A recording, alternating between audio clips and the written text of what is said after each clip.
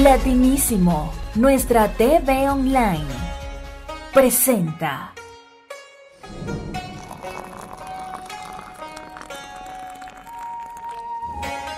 Bienvenidos al Rincón del Té, tu espacio de bienestar y salud a través de Latinísimo TV online. Estamos en Venezuela, Francia, España, Italia y Portugal. Soy Leida Vergel, naturóloga y hoy vengo a compartir con ustedes las bondades de esta planta como es el orégano orejón. El orégano orejón es de origen europeo y de Asia, es una hierba familia de la menta, excelente para infusiones y para la cocina. Su nombre científico es Oreganum vulgaris.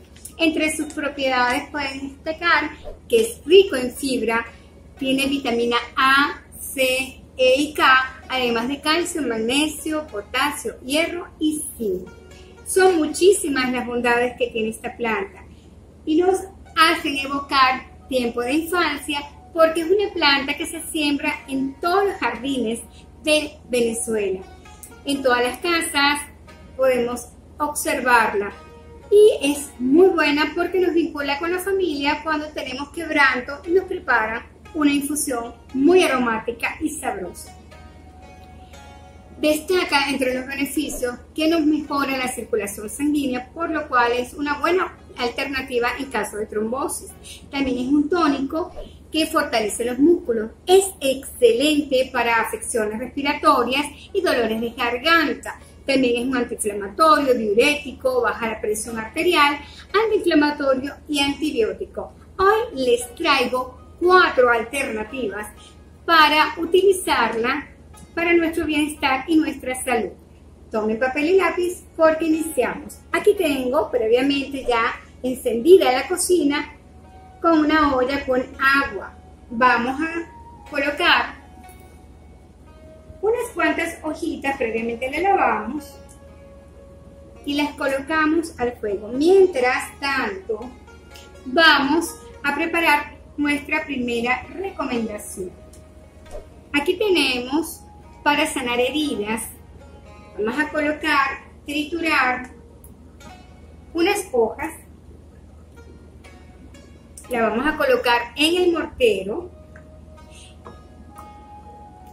Y le vamos a agregar vinagre y sal.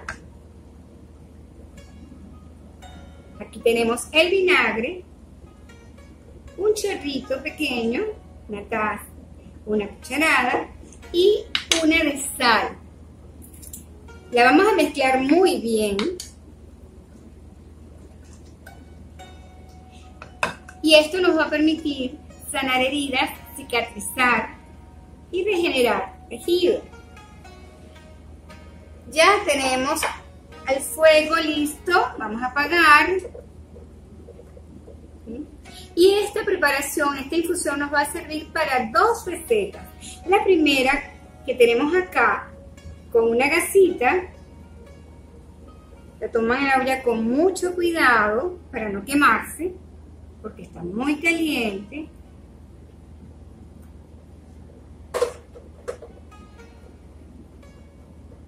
Y la dejamos reposar. Esto nos va a permitir limpiar las irritaciones que tenemos en la piel, por alergia, por picadura de insectos. Simplemente tomamos la gasa y la colocamos en la piel. Otro detalle interesante con esta infusión es disfrutar de una buena taza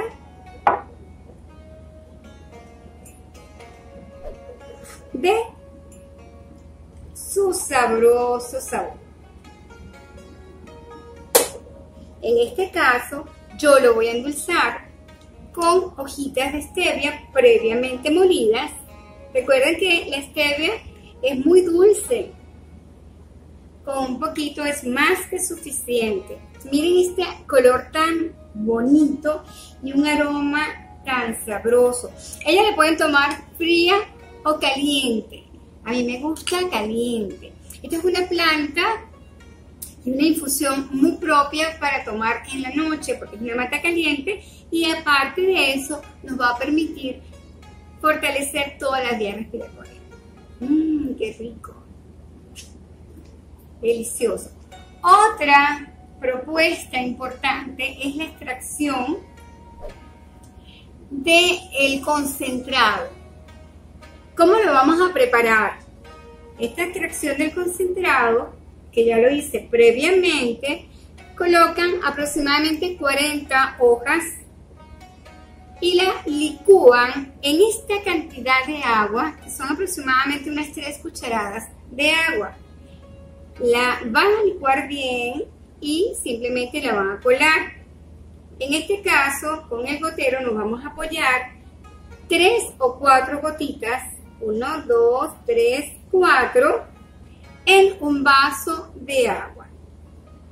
Esto lo vamos a tomar tres o cuatro veces al día y nos va a permitir subir el sistema inmunológico. Anímense a prepararlo. Así que nos vemos el próximo miércoles acá en el Rincón del Té por Latinísimo TV. Síguenos a través de nuestras redes sociales, Instagram, Facebook y YouTube, Latinísimo TV y también en el Instagram, el